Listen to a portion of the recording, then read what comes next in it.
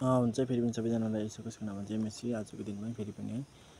तपाईँले सुनिराखेकै भजनै लिएर आएको छु तपाईँले सुनिकन। है आशिषित हुनुहोस् है। यीशुको पछि म हिँड्न लागे। यीशुको पछि म हिँड्न लागे। यीशुको पछि म हिँड्न लागे। फर्काँदिन फर्काँदिन बाबाले मलाई आमाले मलाई सबैले मलाई तागे तापनि यीशुको पछि म हिँड्न लागे फर्काँदिन फर्काँदिन।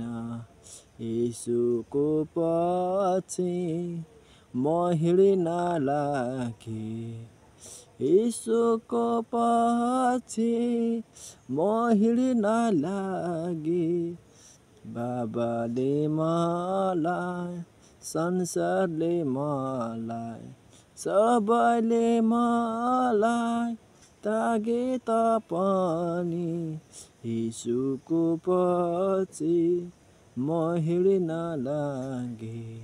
फर्काँदिन फर्काँदिन हुन्छ जय मसी सबैजनालाई धन्यवाद।